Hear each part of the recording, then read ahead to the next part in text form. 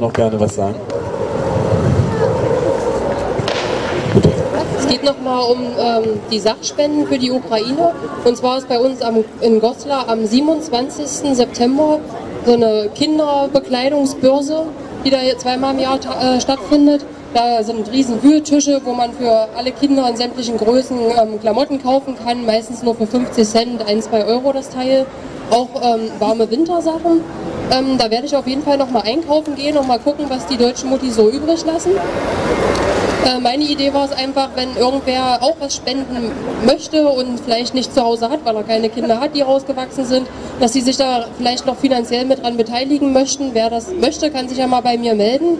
Und ähm, meine Idee ist einfach, dass das Geld, was da nicht ausgegeben werden kann, würde dann einfach mit äh, in die Transportkosten für den LKW mit einfließen. Ähm, ja, meldet euch einfach mal, wenn irgendwer da noch Interesse dran hat. Ja, danke. Jawohl, danke Susi.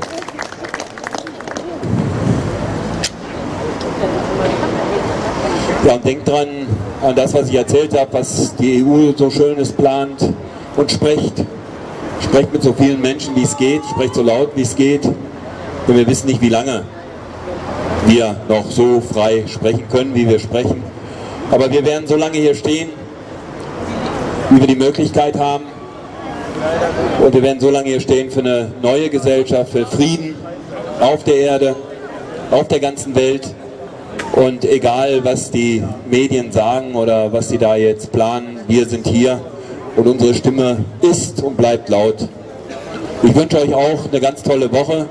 Wer sich an den Arbeitsgruppen, wie gesagt, beteiligen möchte, einfach mal im Internet schauen unter www.mahnbache-braunschweig.de. Dort findet ihr das Forum und dort findet ihr dann auch die Arbeitsgruppen. Und wie gesagt, wer sich hier gerne noch was mitnehmen möchte, ist herzlich dazu eingeladen oder auch noch eine Spende für die Ukraine oder eben halt hier für die Mahnwache.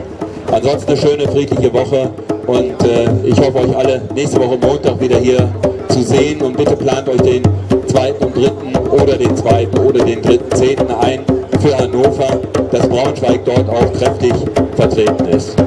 Alles klar, ich bedanke mich und eine schöne Woche.